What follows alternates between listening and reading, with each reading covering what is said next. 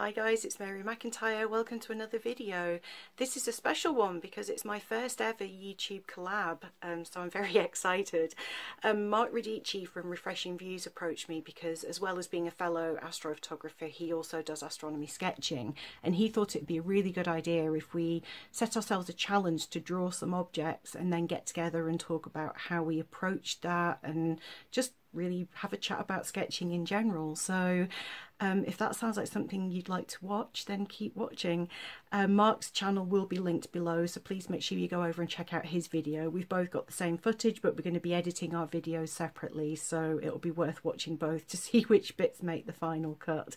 I'm also going to include some really short time lapses of me creating my three sketches, and I find that those super quick ones are fine for Instagram, but in terms of YouTube, I like the slightly longer ones. So I am going to include the longer time lapses in a separate set of videos as well on my channel. So if you prefer to watch me working in a bit of a slower pace than having three hours condensed to like 25 seconds or something, then that's something to look out for. Um, so just make sure you're subscribed so you don't miss those uploads. Enjoy the video. So good morning and welcome to Mary McIntyre's house this time. Hello. And as always, she's made a cup of tea and you're, you've got a coffee. Coffee with the cats on the cup, obviously. So Mary, we've done a collaboration. We've done some sketches. We've both done our own objects. What are we? But actually, before we go into that, let's talk. So, what's your background? What's your background in astronomy? What's your passion? Uh, if it's in the sky, I love it basically. So I've been into astronomy since I was a young child, but when I had the opportunity 10 years ago to do the astronomy GCSE, that kind of really ignited the serious astronomer in me. And I went on and did some qualifications with the Open University, and my job now is doing astronomy talks and freelance writing. So I do stuff for Yearbook of Astronomy, Sky at Night magazine, stuff like that. So, So you're a professional astronomer, technically. Um, a, a keen amateur, I think I describe myself as. No. So, what about you? When did you get into astronomy? So it's one of those things I can't imagine. I can't imagine there are people who are not interested in astronomy, if you know what I mean. In the sense that, I mean, for example, last night it was hazy. There was a bright full moon. It was then starting to fog over. And my wife and the children were inside, and they, they love watching I don't know murder mystery, you know, um, Midsomer Murders and Death in Paradise. And I was outside, and I saw Jupiter, the Great Red Spots, four moons. I saw Saturn and the rings, uh, the Andromeda Galaxy, uh, a beautiful double star in Andromeda called Almach, and M15, the Globular Cluster.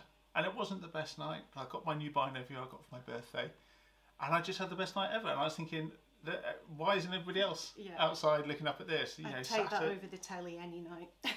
So definitely. yeah, a bad night in the observatory is better than a good night. Definitely.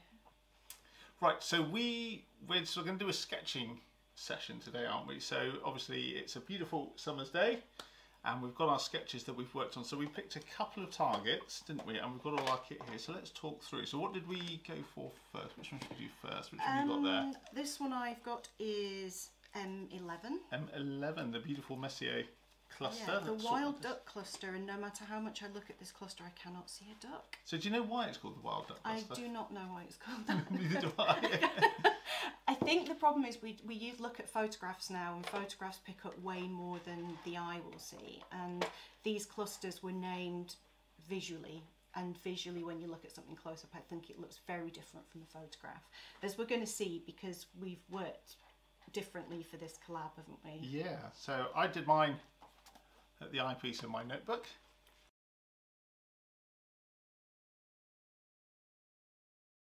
And you did yours. I did mine Look from a that. Isn't that photograph beautiful.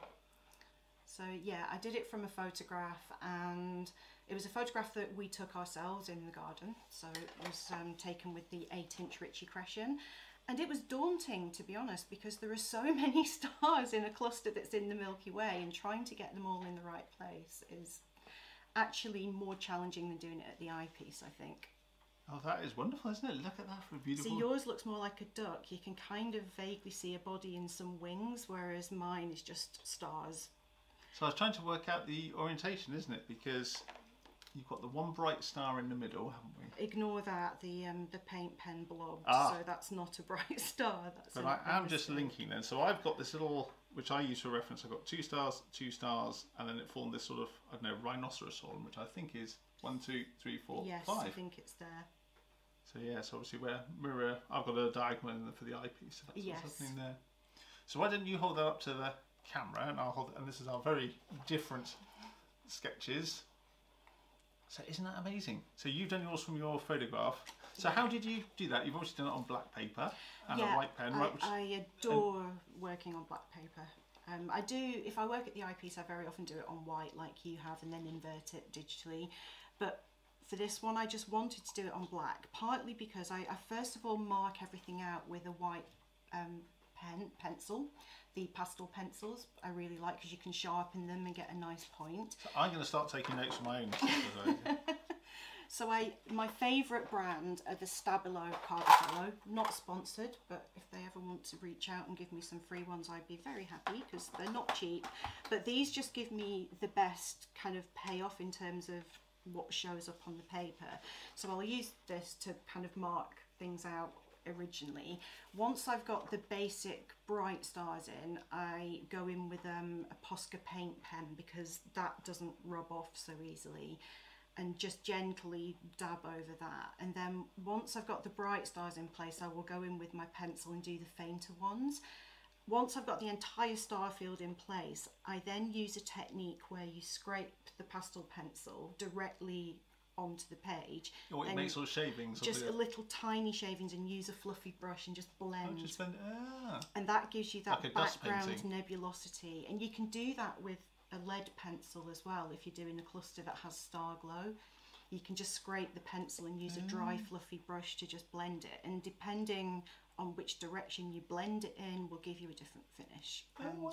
so I know that visually when I've looked at this cluster it has a really kind of distinctive square shape Right. so I've kind of used a little bit of my memory of what the Hmm. kind of background glow looked like in the cluster, and I added that from like my mental picture of it. So Gotcha. it's a bit of an artistic interpretation with that finishing touch. Well, that's a beautiful sketch, isn't it? And certainly at the eyepiece, you've got one really bright star in the middle. And have you Oh, got, so that that must be that. There must be that one, I presume. Yeah, it's kind of like a double star, isn't Oh, did it? it? Oh. The- uh, it- on the photograph, it looked like double. It could be the mount didn't track properly. and then, and then there's there's a whole load of stars that are just on that limit of resolution, just coming out sort of like a granular, like if someone sprinkled sugar, and you can just about see the crystals. Well, that's another thing that I do as well. After I've blended, one thing when you look at a photograph in particular, you quite often see what look like super faint ghost stars because they're the ones that are just at the limit of what the camera Really? can detect. Okay. If you carefully scrape your pastel pencil, then press your finger into it, the stars will not be exactly in the right place, but it gives that impression of the faint background stars. So if you look closely at this picture, I'll, I'm going to put a picture of this up on screen anyway.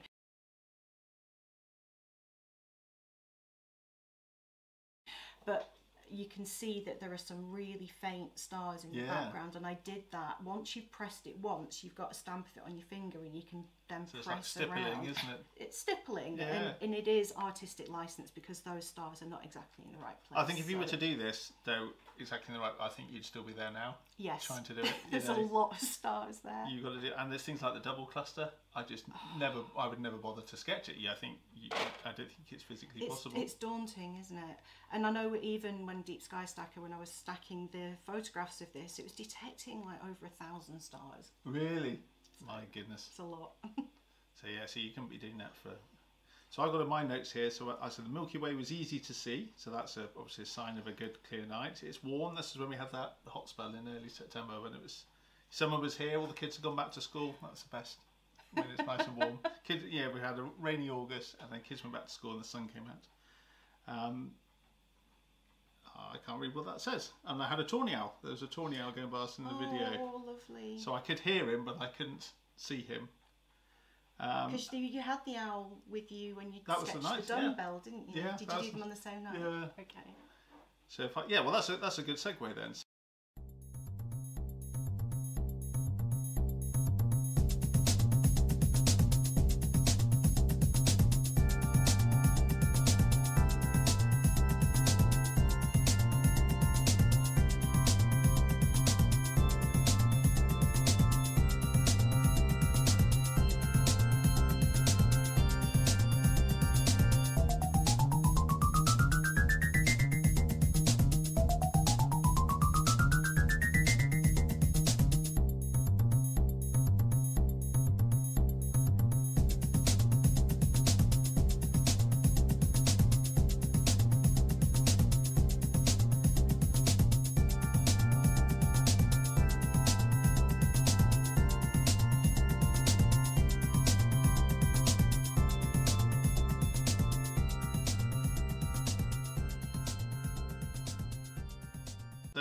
Star cluster, I find star clusters, unless it's a bright open cluster and all the stars are easy to place.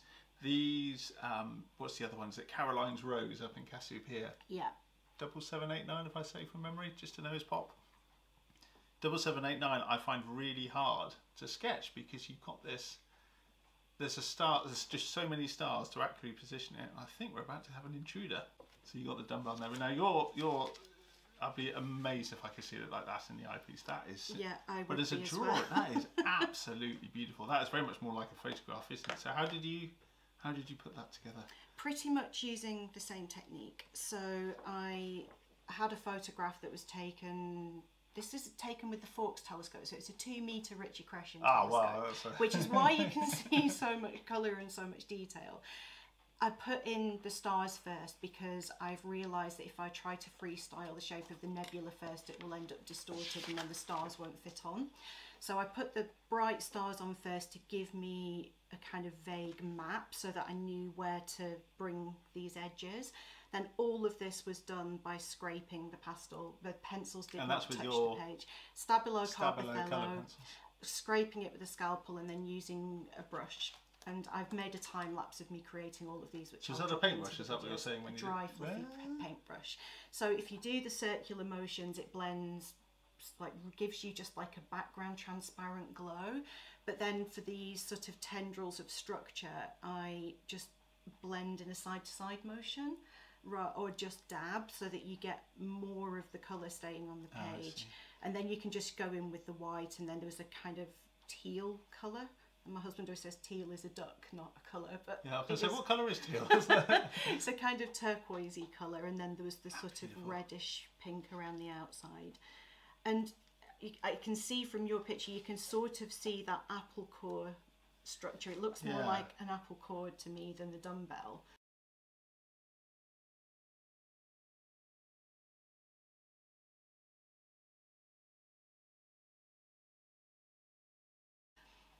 Yes, so that's what I've written. So you've actually, yeah, beautiful twin load apple. Yeah. core. Definitely. So yeah, that that bit there, I think. Actually, that's- I think that's- that's the apple core bit, and then the right. rest is the outer and that shell. bit's really faint. So that's the bit you see, this sort of figure of eight in the middle, and then the fainter left and right, you can sort of see as a ghostly glow. It's a very beautiful object. I've looked at it through our 10 inch Dobsonian and it is stunning. Um, our Dobsonian isn't working properly at the moment, which is part of the reason I did these from photographs. It's very important. I know you've done a video on this, but getting your ergonomics right when you're sketching is so important, and I'm struggling with that at the moment. I need to make some adaptations for my binoculars.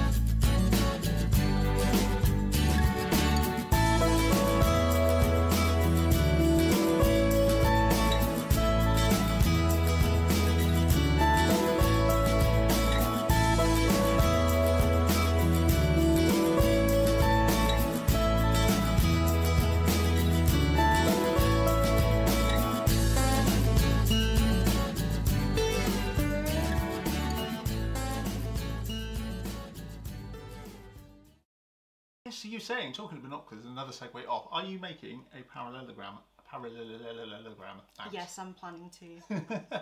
I was inspired by your video. I definitely need one because it's impossible to, to work without injuring your neck without one. Definitely. So that will help. So we were saying as well, if you get a sun lounger, relax on the sun lounger and you can look up overhead with it. Oh yeah. But then suddenly you'll wake up and it's three in the morning and it'll be really cold. I, I foresee a lot of that over the winter once I've got my parallelogram out. And, and, and you'll be snoring. Yep.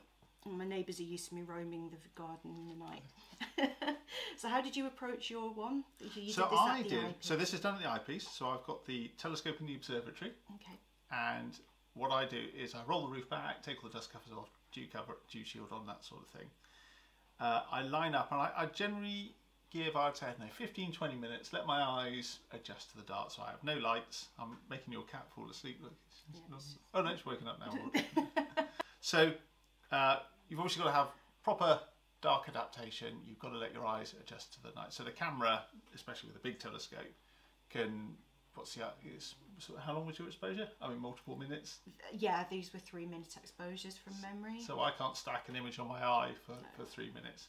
But you can see the ghostly glow, and that's what I love about sort of visual astronomy is I've, I've seen it myself, as you've seen it with your telescope. And There is a colour to it, isn't there? You can see a colour with this object if you let your eyes adapt. Yeah. I've definitely seen the blue, certainly, not so much the pink, uh, but interesting.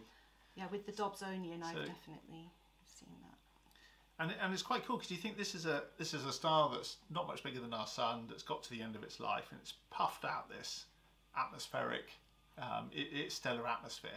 And I think you see that there right in the middle of yours is that white dwarf. And that's the core of the original sun.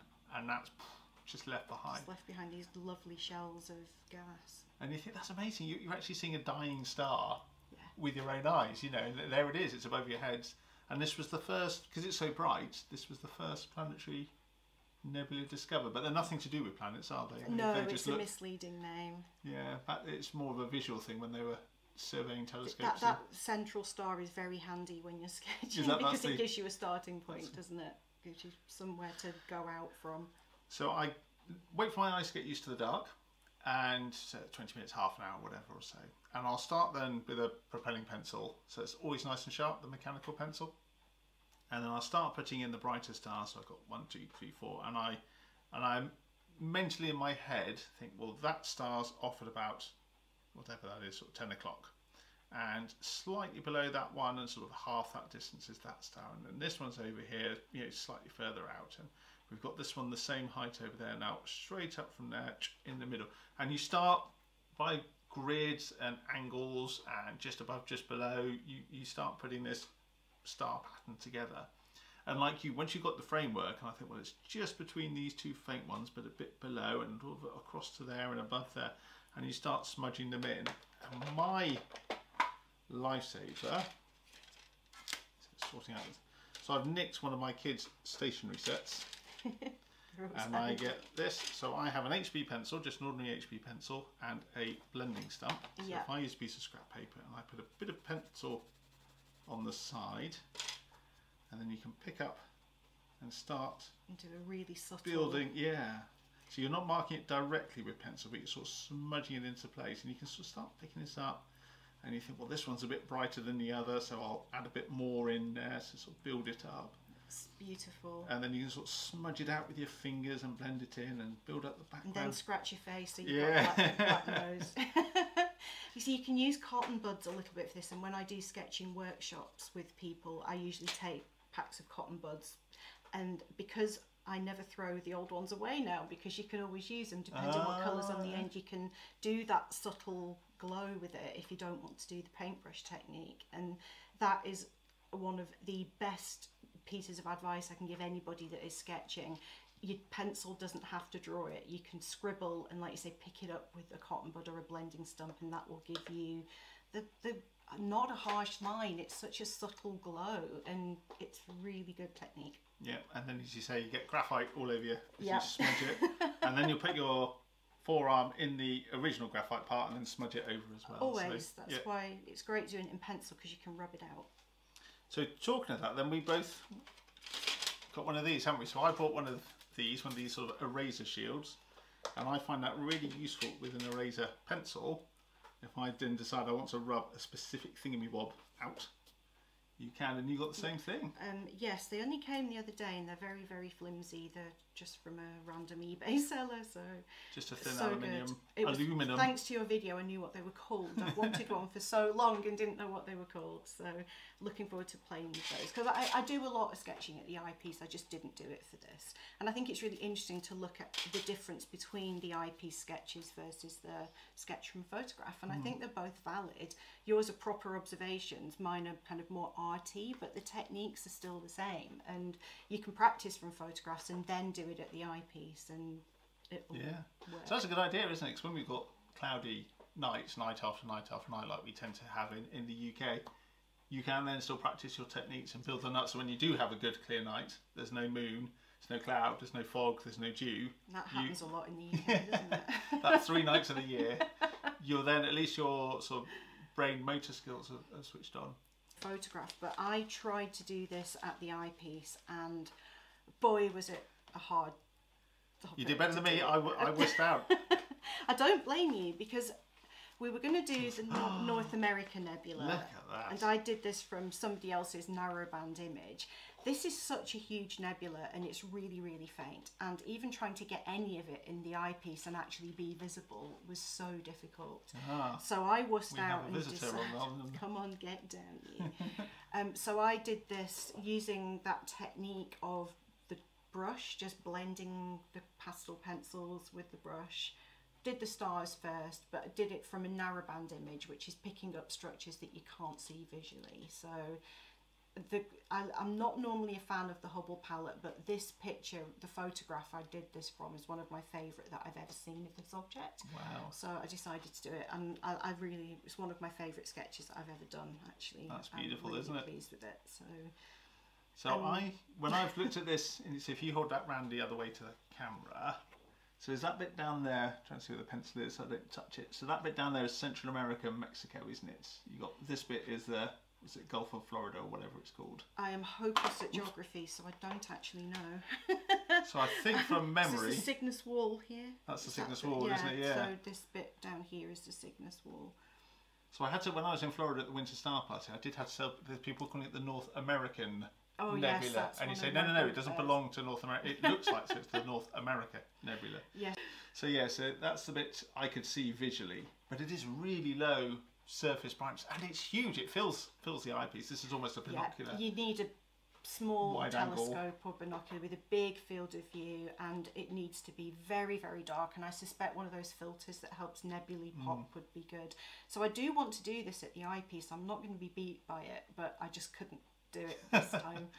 I need to, um, yeah, needed to change up how I was going to do it, but I, I really do very very very happy with this and the background regions here i did that thing again where you scrape the pencil and Okay. stamp it in with your finger to give those clusters of background stars which is artistic license because that's not the exact position of all of them but i would such be a here rich for part 10 them, isn't years there's no way you could get them all on I think you're absolutely right, isn't it? Because you be it's such a rich part of the Milky Way.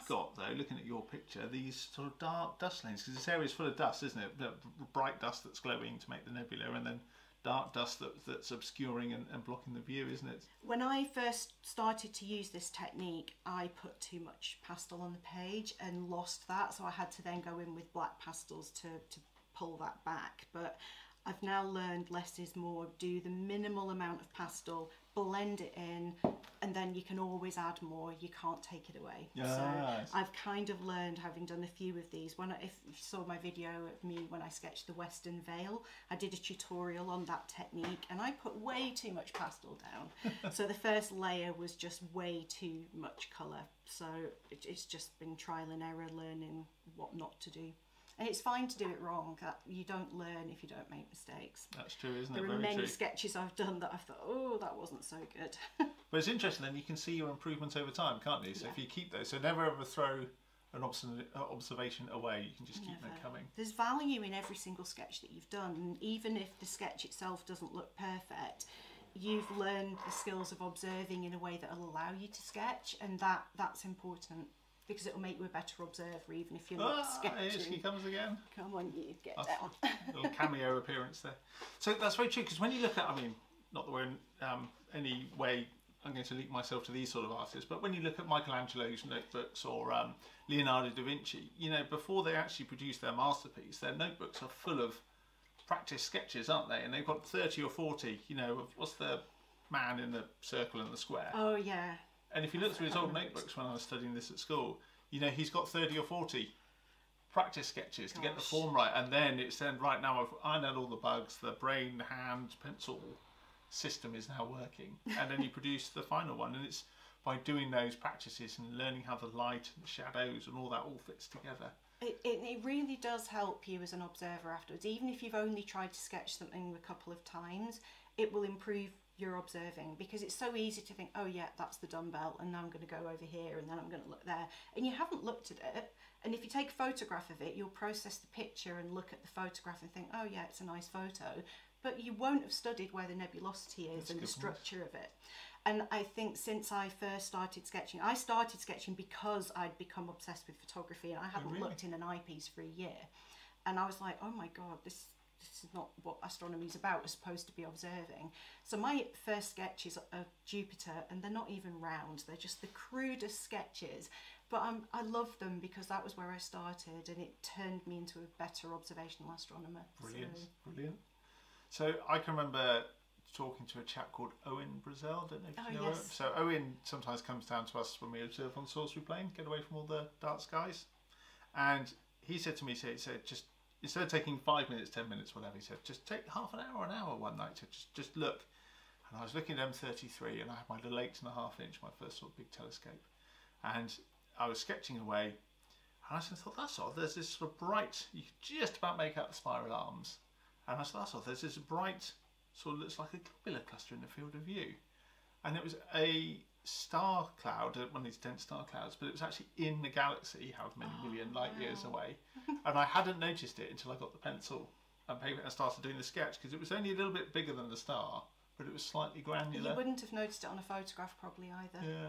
But now, whenever I go out, I always look for it and I go, oh, there it is, because I stumbled across it. I was 200 years late to claim the discovery, but it was my own independent discovery. But I think, like you said, the important thing as well is to be fully dark adapted. But if you look at the same object for 20 minutes, you start to see things there that you didn't see at the beginning That's as true, well. The, the, your, your eyes settle into it, you get used to the averted vision things, and things will just pop. And it's so easy to be tempted to just like do a Messier marathon and not look properly. Just tick them off, train spotting, tick, Yeah. tick, tick, stamp collecting. And you won't remember those. I bet you couldn't draw them from memory or Mm. even guess at the structure of everything if you've gone that fast through the objects. It's a bit like when you go to an art gallery, isn't it? And if you rush around and see 100 pictures in a day, you'll forget them. But if you study three or four, take your time, then you'll get much more out of it. study the brush strokes and and I think it's really fun as well to sketch the same objects more than once. I I love to do them on black paper, but I also love drawing on white paper. So sometimes I'll do the same object from an eyepiece sketch and a photograph and sometimes on white paper, sometimes on black. And you're using different techniques and you'll pick up different things doing that and and it's an excuse to just keep drawing stuff. It is, isn't it? And what's quite that's a good point about memory because I flip back through my notebook, and I and I remember things that I would otherwise forget. So you know, going out and observing, you know, what's this sort of Virgo galaxies, and but this is when we were in lockdown earlier this year, and so instead of meeting up to observe, of course, and be outside with other people, we weren't allowed to do that. So we used to set up a Zoom, and I used to have that on. I'd turn the screen off, but leave the microphone, and we would be chatting oh, with Oh, different people in different telescopes in the astronomy club, different observatories, and one chap's measuring exoplanets, and someone's looking at the planets, and I was visually observing these galaxies. But you know, we were chattering away, and I'd forget that if I didn't write it down because all they'd all merge into one. There's M51. And I love your observations of like the owls and stuff like that as well because there have been many times I've been out and a hedgehog's been snuffling Oh, around my feet and you know I and you'll hear a fox that you know, can be quite daunting if you're in a field by yourself and you hear a fox you're kind of like oh it sounds a bit scary. So how do you manage your dark adaptation? And you said that was important at the eyepiece. How do you make sure your eyes are you're getting all that light through to your eyes? Keep your phone off. Even when it's at minimum brightness, your phone is going to trash your dark adaptation. When I'm sketching, I use a clip-on LED light, and I took one for the team and ate a load of Quality Street Yeah. orange creams and strawberry creams, and just wrapped that around to just. okay. This has two settings. Quality Streets is going on my yeah, shopping list. So we were talking about dark adaptation, weren't we? And you had your light before my car then filled up. So you ate all your Quality Streets, I which is my good to keep yeah. hydrated with a Because cup the thing is, like your light is is red, but the LEDs are too bright, and even a red LED light will wreck your night vision. So wrapping anything around it to just make that more diffused is a really good idea. So Quality Street. So I yeah. So I used a um, milk bottle. Not as much Plus fun as Quality Street, but No. it works really well. But what I, th- I think I might, having just spoken to you while we while we were sorting the cameras out, I think I'm going to get a few more layers and just help diffuse that. But I do have this Skywatcher. I've had this for years. It's one of these things that seems to punch so well above its weight. You know, it's whatever a tenner, fifteen quid. But because it's dimmable, you can rotate. That's so good. Then you can make it bright and dim. Because the LED red head torches are so incredibly bright that you're blind if you put them on. I mean, they're just. Well, I think they're designed for people who actually, you know, mountain biking or walking at night and stuff, aren't they? But they're sold in astronomy wholesalers and they're too bright. So it doesn't matter what you use. Now, I jokingly say that you've got to eat Quality Street, but it can be anything that's going to just mute that down. And because you can clip it, you can angle this to not shine at your face but illuminate your page and you can make it so that it's illuminating just the bit that you're working on because if you keep it closer to the page you don't get as much kind of back glare either so I usually have a clipboard with that on ah. and I don't have a fancy thing like you do so I tie my pencils on a bit of string and tie them to the clipboard so if I drop them they don't go on Do the you have your floor. gloves on a piece of string through your sleeves? But yeah So there's so Mary was just mentioning there. So what I've I've not used to for years, I've literally just written in a notebook. You know, just hold a notebook and hold the torch in one hand, or I'm flashlights. make you're the from America. telescope move along and And yes, you so yes, if you're nudging as well. So you I need end to up be an octopus and you end up running out of hands. So I think the idea of having a clip, something that you clip on, then is really useful, isn't it? Because definitely it does does does free up one hand and the other thing i've got and i i didn't think about getting this until literally about two or three days ago and this is an old um, pilot's knee board so when you're flying you would strap this on onto the onto your thigh so when you'll get a different radio frequency or the weather you can you can scribble it down and you can do your navigation calculations but it's really useful because of course you've got a your clip your clipboard, and then I bought a couple of these. What do you call these metal things? They're for um, nurses, yeah, and Oh, engineers. So when you've got to hold, you know, pens in in your lapel and stuff. But then I can then hold. They're so good. I'm going to order some of those. So I'm going to make you spend a fortune. We've Yeah. done this one video, and you, you spent at least eight pounds now since we've spoken. So there you are, and then you can hold everything So good. in the right place. That's better than a bit of string. Definitely. And then what happens, of course, it's dark, and you've got your dim red light, and you can't see, and you spend all your time which pocket or which shelf have I put them on. But I like your eraser as well. I haven't seen one of those. I need to buy one of those as well. So I normally cut the end off mine with a, a craft knife. Then I've got a nice sharp point. But you can't keep that on your clipboard. So it's in my Ah. pocket, or I drop it on the floor, and then it's wet and don't. Yeah, so So yes, That's that's, just really a, a good. pencil. It's like a propelling pencil. but an But eraser, for an eraser. That's so good. There's stuff that you didn't even know existed. It's amazing. And then with that that um, eraser shield. And then what's the other one? So I always try and go for propelling pencils that, or ordinary pencils that have a an eraser, a rubber at the end. The Americans will laugh at us if we say rubber, so Yeah. we'll have to say eraser. So if you have, eraser. yeah, so we have a pencil eraser at the end. So uh, you don't then have to faff around. Oh, I put that in the wrong place. I can just spin it around and Yeah. do that. So that's the other And thing. And choose one that actually has a nice soft eraser on the end because some of the cheap pencils you buy, they're just like rigid and they don't rub out properly. I've got loads in the cupboard that are terrible. The erasers just don't work. Ah. So when you're buying them, I think it's good to just feel how soft the, the eraser is because the rigid ones just make a mess. I hadn't thought of that. I, thought I just I thought an eraser was an eraser. No, some of them are really horrible. I, I guess they've been in the shop for 20 years and they've just gone too hard out. or something. I don't Ah. know. But I've got plenty that don't work. So do you just use ordinary mechanical pencils? You know, do, or do you use different I types do. of pencils? Um, I use different weights of pencil, so I have this set which is going to last me my entire life. Um, I tend to use the 2B most commonly, especially for lunar because I love when I'm sketching the moon to get the harsh shadows. That's one of the things that I really love about lunar sketching. Trying to do that with an HB pencil means you're kind of scribbling away. So I use the 2B and if necessary I might use a 4B pencil um, And that's to because get it's the dark really shadows. soft but it's quite dark. It blends a lot. The trouble is if you then put your hand in it you put handprints all over your page so I kind of do that as a last step. And I also use a tissue to cover part of the page if I'm Uh, going back idea. and forth.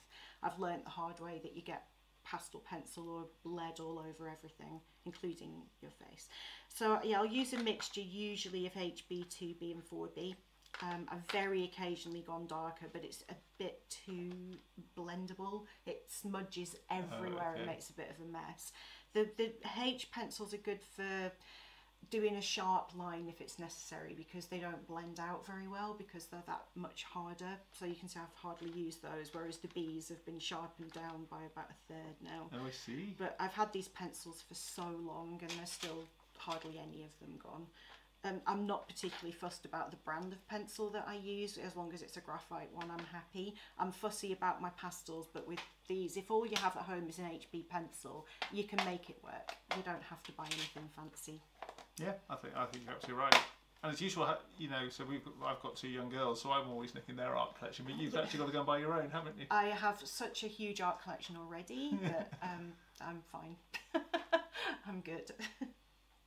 So how do you choose objects that you're interested? in? That's another question I had for you. So what do you just find something that catches your eye, something that you notice in the sky? What what makes you choose? I'm going to sketch this object over the thousand other objects that you could choose. Um, if it's the moon, it will be, I'll see a photograph that will have a really nice mountain shadow or a crater wall shadow, and I'll instantly be drawn to that. And just really, I love the harsh boundary on the moon because it doesn't have an atmosphere. The shadows are really dark, the highlights are really white, and that really excites me when I'm doing lunar. So I'll look at Very dramatic it, landscape, it is. isn't It's it? just so so beautiful, and you get loads of pareidolia when you sketch it as well. And I did a sketch of a crater recently, and someone could see eight different faces in it, and I hadn't noticed it. It's What was it's that word? you- Power? Pareidolia. It's where the human brain sees um, patterns that aren't really there, and Ah. generally assigns a human characteristic to it. Oh, okay. So somebody was like, "Oh yeah, I can see um, a man with a checkered cravat." I was like, "It's a lunar crater," and then I was like, "Oh yeah, I see what you mean now," because I, I break it down in an abstract way. I don't look at the whole picture until I've finished. I break it down and do the white bit there, and then that shadow there, and so I'll, I'll just see a lunar picture, and it will make me go, "I want to draw that." With nebulae, um, I like to try to draw at the eyepiece the stuff that's brighter and some of my favourite clusters. Mm. I love star clusters because although it can be daunting, I find them a bit easier to do than nebulae at the oh, eyepiece. okay. So I love sketching the sun as well. We've got a hydrogen alpha telescope. Oh. So using my coloured pastel pencils to do prominences. Oh, your Oh phone's- yeah, we'll, we'll leave okay. that. Yeah. Um, so yeah, use prominences and sunspots. I, I do those at the eyepiece as well. So if there's something interesting on the sun, I'll go for That's that. amazing because the sun can change in five minutes, can't Yeah. it? As these solar Within flares build up. it yeah. can. It's amazing. So I really, really love solar sketching. And you're watching that real time, aren't you? You're not watching it on the laptop or the monitor. You're actually yeah, seeing it. I'm actually seeing it in real time, and that's good. I do from photographs as well, but the sun I can sketch really quickly at the eyepiece. So Yeah. I've got a well, you have to, don't you? If you're, if you're solar Mm. sketching, yes, at hydrogen alpha. Definitely.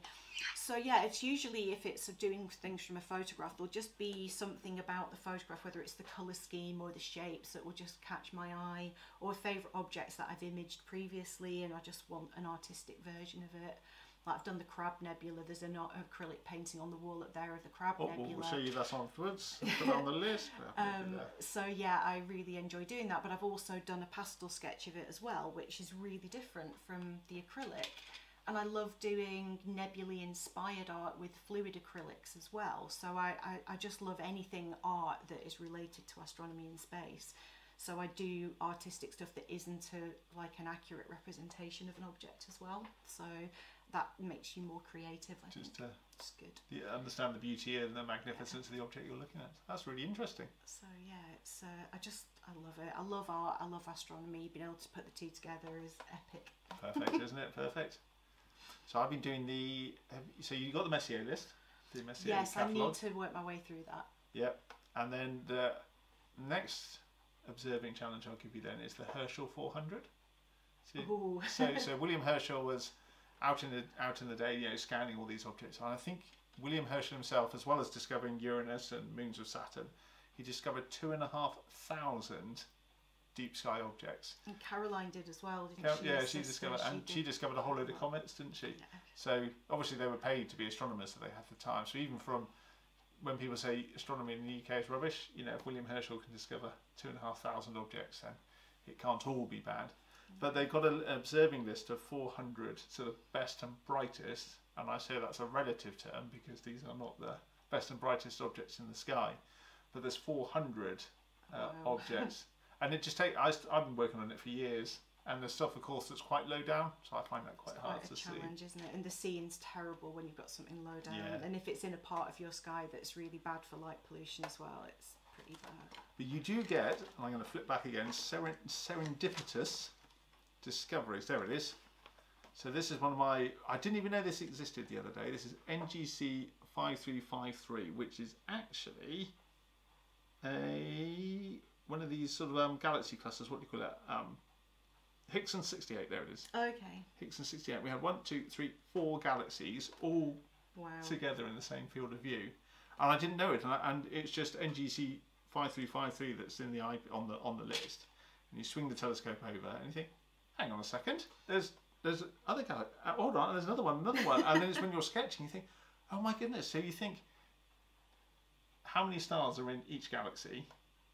How many billion stars, and how many planets are around each star? It's mind blowing. And, it, and it's these serendipitous discoveries. And I say, if you don't write them down, if you don't sketch them, if you just tick it and move on, you'll, Yeah. you'll sort of forget what And they it's, look like. it, it, it's just incredible when you look at these galaxy clusters. I mean, even the Andromeda galaxy is fairly big and bright, but it's 2.5 million light years away, and that light has travelled so far for us to capture it and put it on paper. That's before humans existed, before Homo. Yeah, it's amazing.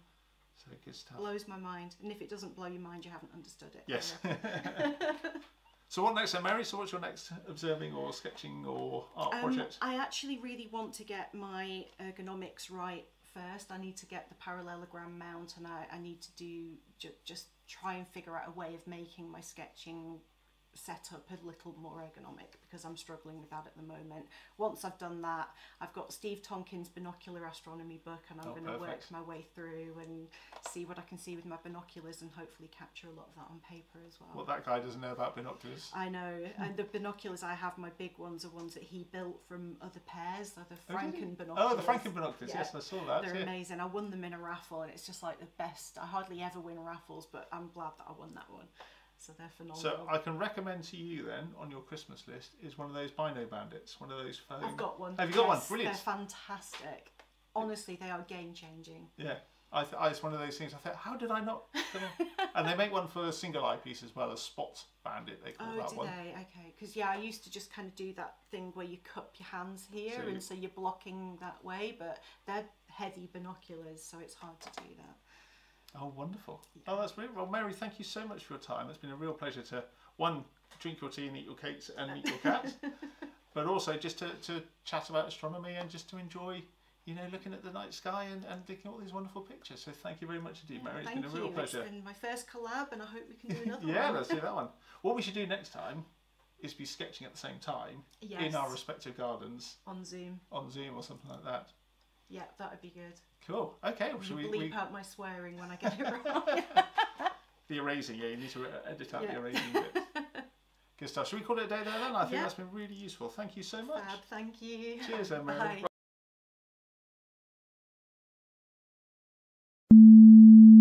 I'm making your cat fall asleep. Look. It's- Yeah, it's- it's- oh no, it's waking up now. My wife has a similar sort of look when I start talking about astronomy. there we go. And then press record. Oh, we are recording. Brilliant. Might have it straight. That'll look like you know what we're doing. Sorry, is that recording? No, it is now. Mm-hmm. Okay. I now understand why people in film studios, pay, you know what I mean? Like recording, lights, sound, editing are all different jobs. How many children have you got? Just Well, two that I know of. Okay. Oh, yeah, I am recording on that one. so I might have to cut that bit out, but it might stay in.